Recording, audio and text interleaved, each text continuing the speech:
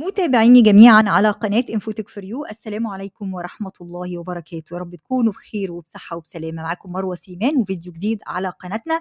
النهاردة إن شاء الله هنتكلم عن نموذج ذكاء اصطناعي جديد ونموذج الذكاء الاصطناعي الجديد ده ممكن كمان نقدر نقول إن هو مش بس بينافس O1 ولكن بينافس DeepSeek R1 حقيقة السنة دي نقدر نقول عليها سنة ال reasoning models زي ما إحنا شايفين في سباق في ال reasoning models وأصبح O1 مش لوحده في المقدمة أصبح في نماذج ذكاء اصطناعي آخر زي DeepSeek R1 وأيضا الأسبوع اللي فات تم الإعلان عن نموذج آخر ممتاز جدا اسمه Kimi K1.5 يمكن ما كانش الضوء مسلط عليه زي DeepSeek R1 ولكن نقدر نقول إن هذا النموذج ممكن يعمل طفرة في الأداء الخاص بنماذج الذكاء الاصطناعي. طب ليه هيعمل طفرة؟ لأن هذا النموذج تم تدريبه على تقنيات التعلم المعزز اللي هو ال reinforcement learning والهدف هو تحسين قدرات التفكير المنطقي بما في ذلك بقى النصوص والصور لكن دمج التعليم المعزز في هذه العملية غير بكتير جدا من أداء أو هيغير بكتير جدا من أداء نموذج الذكاء الاصطناعي. والبعض هيسألني إيه هو ال reinforcement learning يعني هيعمل إيه؟ إيه الهدف منه؟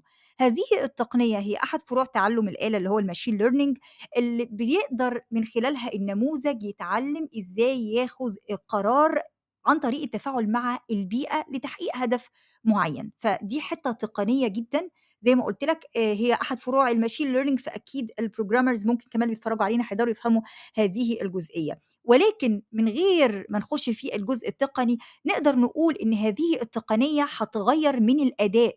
الخاص بالنموذج. هتخليه يؤدي مهام معقدة هتخليه ياخد قرارات في الوقت الفعلي هتحسن الخوارزميات للحاجات المقترحة أو اللي هي قايمة بناء على تفاعلات المستخدم. نقدر نقول إن هذه التقنية بتعتمد على التجربة والخطأ. النموذج فيها بيتعلم يتبع إجراءات بتحقق نتائج أفضل وأداء أفضل. علشان كده يعني يقال إن هذا النموذج طبعا لسه ما جربناهوش هنجربه مع بعض ولسه الفترة الجاية برضو هتشهد تجربة لحاجات كتيرة موجودة فيه لأن زي ما قلت لكم هو لسه أيضا في مرحلة تطوير ولكن أعتقد بناء على ال charts اللي طلعت أعتقد إن هو فعلا هيكون جيد جدا من ناحية الأداء. لو رحنا على Medium.com هحط لك الرابط في الوصف أسفل الفيديو. في مقالة مهمة جدا عن Kimi K1.5 أتمنى إن أنتوا تقروها وبتتكلم عنه وعن DeepSeek أيضا ولكن هي مركزة أكتر على Kimi. و Kimi.ai هنقدر إن إحنا من خلال هذا ال interface نقدر إن إحنا نستخدم الموديل الجديد وهنجربه مع بعض النهارده.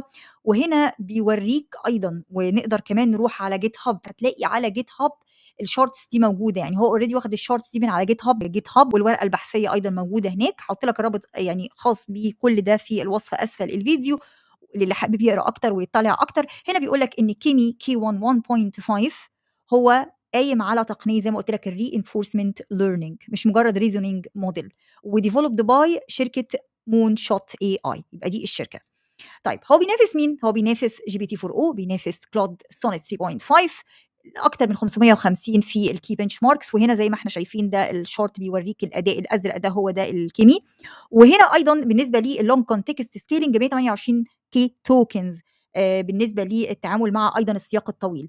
كمان الواجهة بتاعته سهلة جدا في الاستخدام وهننتقل لها بعد شوية. ولو بصينا أيضا على أدائه أو ال benchmark بالنسبة ل OpenAI 4o أو Claude Sonnet 3.5 أو Llama أو Meta أو DeepSeek version 3 هنلاقيه أيضا متقدم بشكل كبير جدا في ال math وفي الكود وفي ال vision أعتقد إن هو و DeepSeek R1 هيشهدوا تطورات كبيرة جدا. وبصراحة أنا شايفة إن هو هيكون promising جدا الفترة القادمة. يلا بينا بقى نجرب على موقع Kimi.ai النموذج الجديد ونشوف إمكانياته. مش النهارده مش هنتكلم كتير قوي على أمثلة في الاستخدام ولكن هنلقي نظرة سريعة وأوعدكم إن شاء الله بإذن الله إن إحنا نتكلم عن use cases منفصلة في فيديو آخر بإذن الله تعالى. يلا بينا على موقع Kimi.ai ورجعنا لكم علشان نشوف Kimi.ai ونشوف النموذج الجديد الشركة الصينية القوية الأخرى شركة Moonshot اللي رجعت لنا ب Kimi.ai وهي على فكرة شركة اسست عام 2023 مارس 2023 فهي مش شركة جديدة.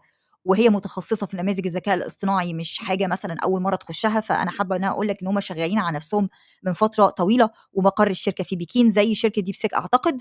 نقدر نقول كده من أول نظرة على Kimi.ai إن ال interface بتاعه سهل جدًا في الاستخدام، ولمّا جيت أعمل login عملت login برقم التليفون، يعني هو بعت لي كود وأنا دخّلت الكود ودخلت على Kimi.ai فدلوقتي عملية ال login سهلة.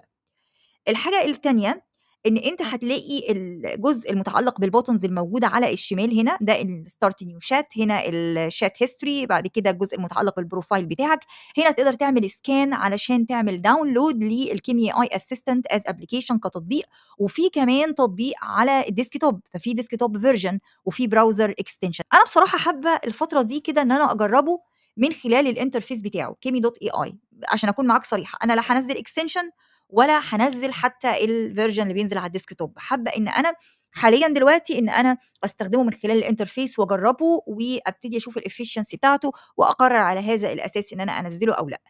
الحاجة التانية إن إحنا هنخش هنلاقي هنا عندنا آآ في ask Kimi في عندك 2 versions. في الKimi for most tasks اللي هو لأي task أنت عايزه أو K1.5 long thinking. والإصدار ده هو بيقول لك إن هو حاليًا لسه محتاج شوية optimization وهيحصل الكلام ده very soon ومش هو ده اللي هم عملوا بيه المقارنة مع بقية النماذج الذكاء الاصطناعي، يعني مش هو ده اللي على أساسه قالوا إن الbenchmark بتاع آآ K1.5 هو أفضل من النماذج الأخرى، علشان كده برضه حبيت إن أنا يعني إيه أنبّه على هذه النقطة، فإحنا هنستنى كده لحد ما يخلّصوا خالص التطوير بتاعهم وبعد كده نشوف هنعمل إيه في موضوع نزوله كتطبيق على ال desktop أو ال AI assistant من خلال ال scan بتاع الكود. تعالوا نجرّب الKimi العادي خالص. ونبتدي هنا ال online بي connect to internet يعني لو أنت قفلته أنت كده مش هتعمل search عبر الإنترنت، لو أنت فتحته عملية ال search بتتم عبر الإنترنت. هنا هاقول له what is the technology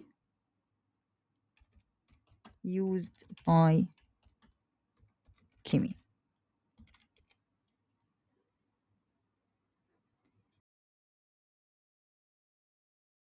بيدوّر عش لإن أنا مفعّلة الweb search. يعني ممكن كمان يكون بديل لعملية البحث بدل ما أستخدم جوجل في الsearch ممكن إن أنا أستخدمه زي perplexity كده ما كنا بنستخدمه في عملية الsearch ك search engine.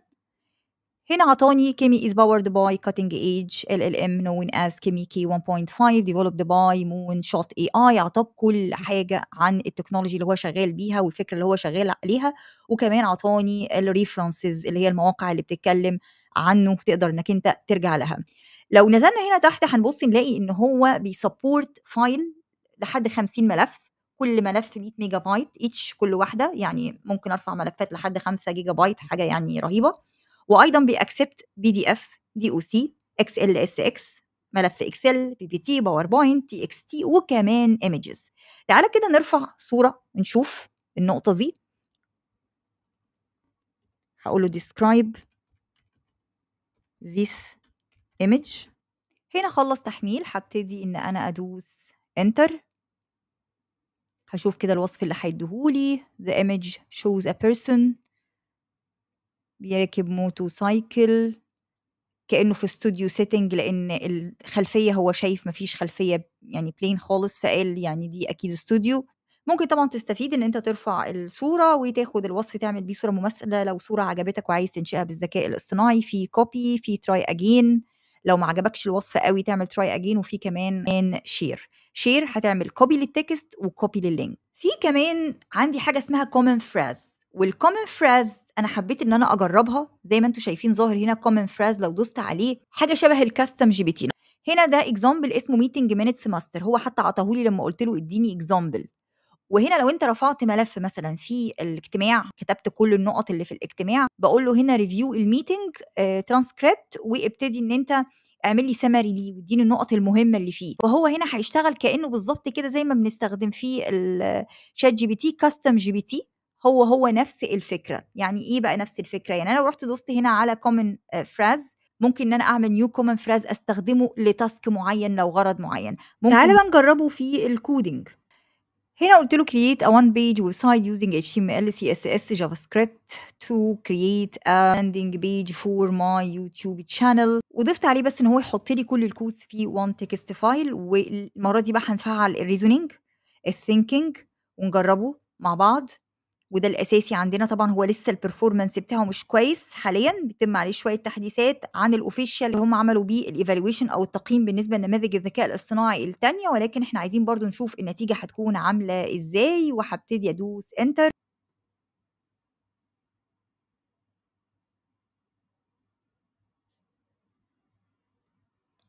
هنا عملية الsearching وعملية الreasoning سريعة، أهم حاجة ما تكونش على حساب الأداء، وده اللي هم بيقولوه.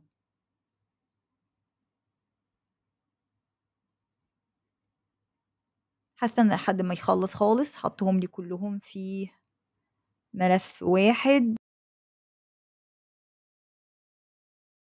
آآ الicons الخاصة بالsocial media channels والSEO واهتمي بالSEO والحاجات دي كلّها، أنا هاخده copy كده وأروح على الvisual studio code وأنفّذه وأوريه لك بعد عملية التنفيذ. ده شكل الone page website بعد عملية التنفيذ زي ما إحنا شايفين وsubscribe now now هتوديني للchannel بتاعتي، وهنا الlatest programming tutorials ممكن مثلًا أنت تحط هنا اللينكات اللي بتودي للtutorials دي توديك على طول مباشرةً على القناة، وهنا ممكن أحط الicons الخاصة بالsocial media آآ platform. أنا شايفة مبدئيًا الأداء بتاعه كويس، خصوصًا أنا أعطيته simple prompt أمر بسيط جدًا، إن شاء الله نجرّبه بعد كده في أشياء أكتر تعقيدًا.